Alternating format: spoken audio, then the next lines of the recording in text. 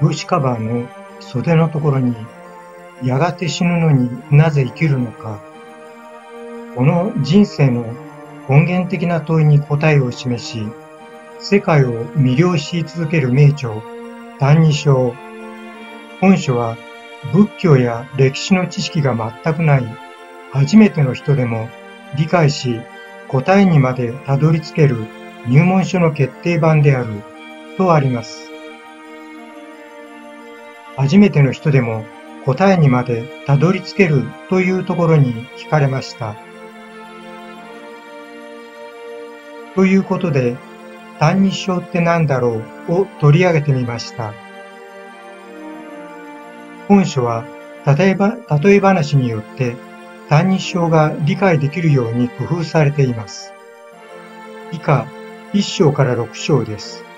1章、すべての意志から見放された難病人がいました。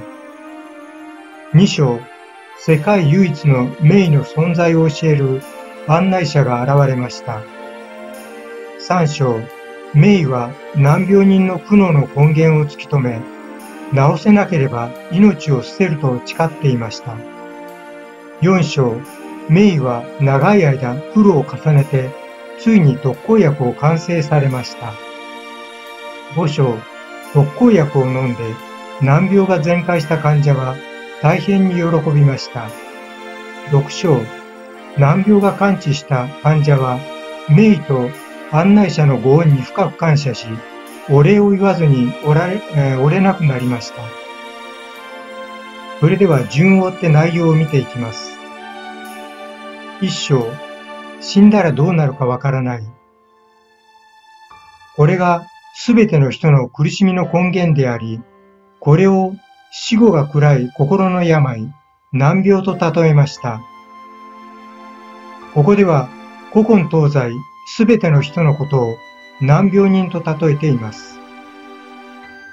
しかし、この難病は大宇宙唯一の名医の作られた特効薬で、生きている時に完治できると単二章に説かれています。二章、この名医の存在を教える案内者とは、釈迦のことです。三章、名医は弥陀のことで、阿弥陀仏とも阿弥陀如来とも言われます。弥陀は難病人を必ず助けようと命を懸けて誓われました。四章、弥陀は万人の死後が暗い心の病の特効薬を完成させました。その妙薬が南無阿弥陀仏という独自の名号です。死んだら極楽浄土へ生きるのだと分かれば人間に生まれてよかったと現在が輝き真の安心と満足とが得られます。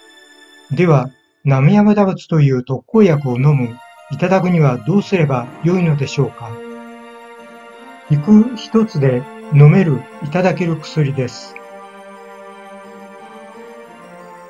ここで聞き方ですが、腸と門と二つあります。腸とは、弥陀の誓願、誓いを解く仏教の力、弥陀の誓いの本末本末を聞いて深く納得することです。弥陀の誓いへの疑心が鮮やかに一年で晴れるまでその誓いを聞くことです。一年とは何兆分の一秒よりも短い時間の極まりを言います。門とは弥陀の誓いに疑心が晴れた一年を言います。弥陀が生阿弥陀仏の特効薬を完成されるまでの本末を聞いて、来世は疑いなく極楽浄土へ行ける身になった一年を門と言います。五章、生阿弥陀仏を飲んで、死後が暗い心の病は全開しました。死ねばどうなるかわからぬ心が晴れて、死ねば極楽浄土へ行って仏に生まれることが明らかになりました。人間に生まれてよかったという無常の幸福を味わうのです。